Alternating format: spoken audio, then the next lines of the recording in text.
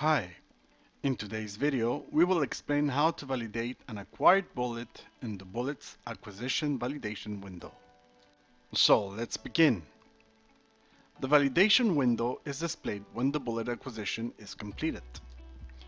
At this stage, you can verify the automatic placement of the anchor lines, assign index numbers to the Lees and Gs, and last but not least, verify the quality of the acquisition.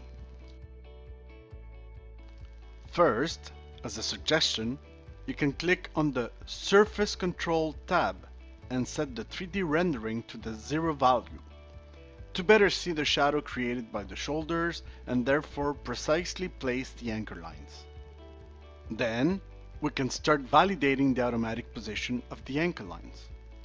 Make sure they're placed on the bottom of the shoulder or on the flat part of the Lee, and that they follow the angle of the stria. If necessary, click on one of the circles at the end of the anchor line to change the angle, so it matches the direction of the inner stria. And then do the same for the bottom anchor line. Next, we can now right click on the first Lee on the mosaic and select Change ROI Order Type and then select Lee number 1. This action will label the first Lee and subsequently label all the following Lees and Gs as well. Then, go through the rest of the to adjust the anchor line placement and validate the image quality. Now, what can you do to better see the shoulders when in doubt? We can also utilize the shape of the bullet to better understand the surface and effectively adjust the anchor lines. To do this, translate, adjust the angle, and zoom in the bullet.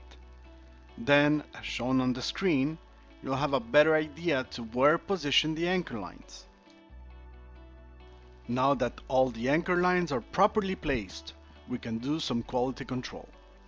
First, select the tab Lee G Width. This table displays all Lee and G widths to help you identify potential width problems.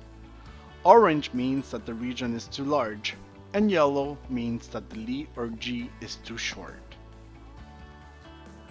Last but not least, the Overlap Graph tab displays an X and Y deviance of the merge images.